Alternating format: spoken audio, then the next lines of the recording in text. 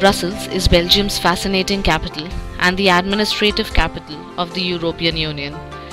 Brussels is historic yet hip, bureaucratic yet bizarre, self confident yet unshowy, and multicultural to its roots. All this plays out in a cityscape that swings from majestic to quirky to rundown.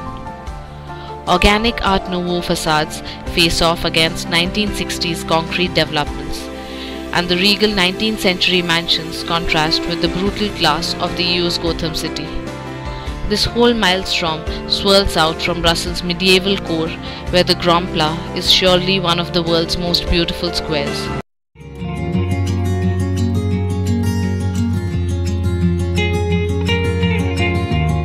The Grand Place, or the Grote Markt, is the central square of Brussels. It is surrounded by opulent guild halls and two large edifices, the city's town hall and the bread house building containing the Museum of the City of Brussels. The square is the most important tourist destination and the most memorable landmark in Brussels. It measures 68 by 110 meters and it is a UNESCO World Heritage Site. The Grand Place was voted the most beautiful square in Europe in 2010. Every two years in August, an enormous flower carpet is set up in the Grand Place for a few days. A million colorful begonias are set up in patterns, and the display covers a full 24 by 77 meters for area, total of 1800 square meters. The first flower carpet was made in 1971, and due to its popularity, the tradition continued with the flower carpet attracting a large number of tourists.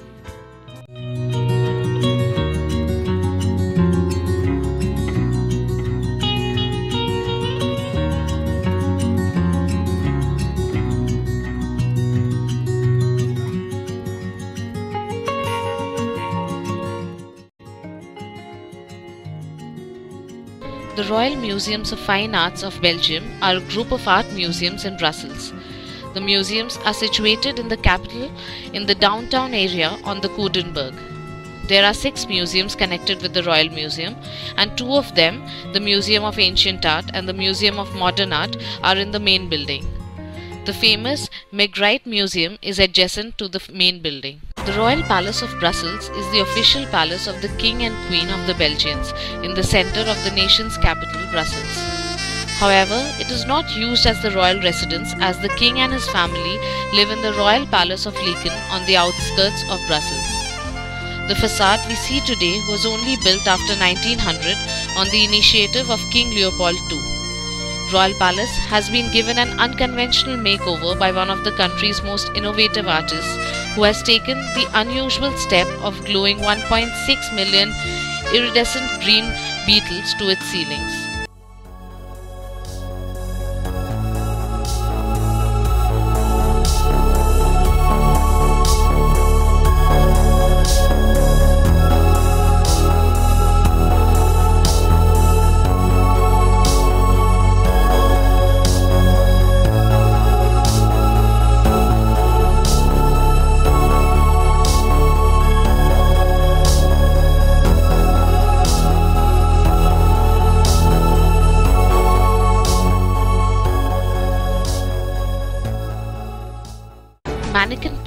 Meaning the Little Man P, is a landmark small bronze sculpture 61 centimeters in Brussels depicting a naked little boy urinating into a fountain's basin.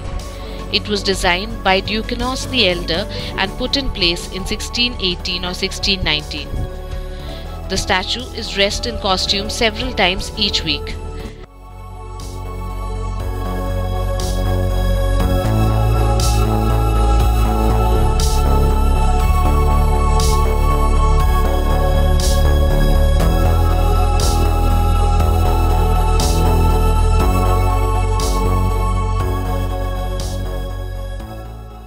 The Atomium is a building in Brussels originally constructed for Expo 58. Designed by the engineer Andre Waterkeyn and architects Andre and Jean Polak, it stands 102 meters tall.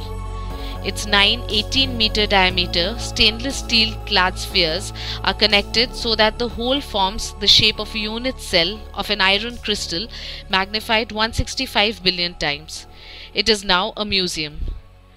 Tubes of 3 meter diameter connect the spheres along the 12 edges of the cube and all 8 vertices to the center. They enclose stairs, escalators and a lift to allow access to the five habitable spheres which contain exhibit halls and other public spaces. The top sphere includes a restaurant which has a panoramic view of Brussels. CNN named it Europe's most bizarre building.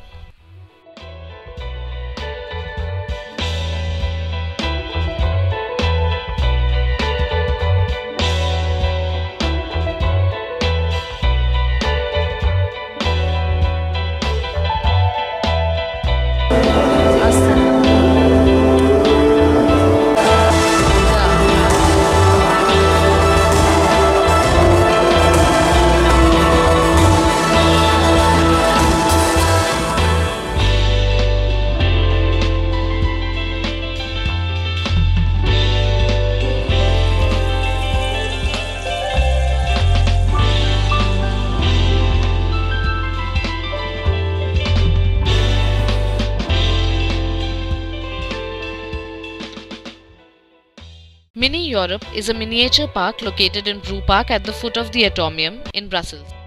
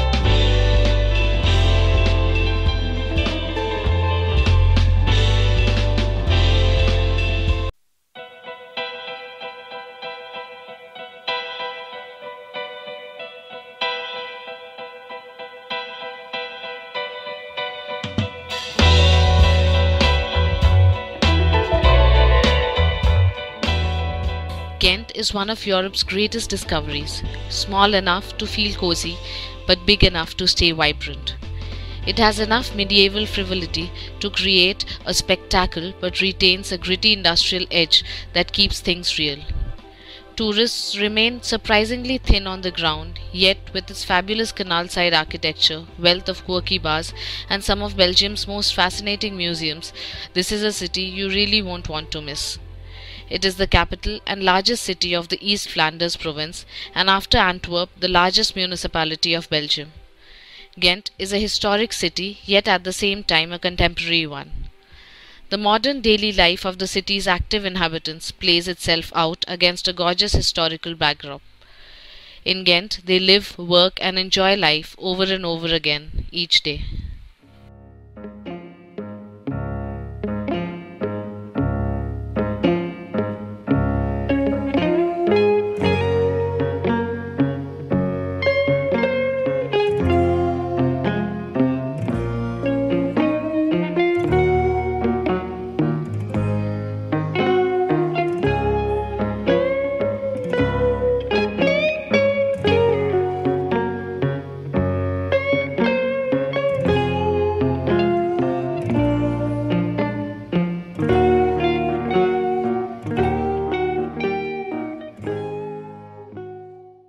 You set out to design a fairy tale medieval town, it would be hard to improve on central Bruges.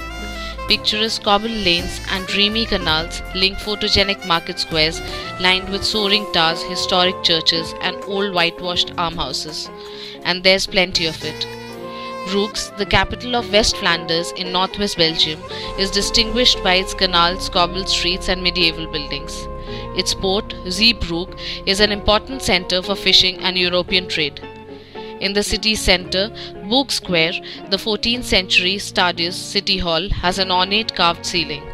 Nearby, Mark Square features a 13th century belfry with a 47 bell carillon and 83 meter tower with panoramic views.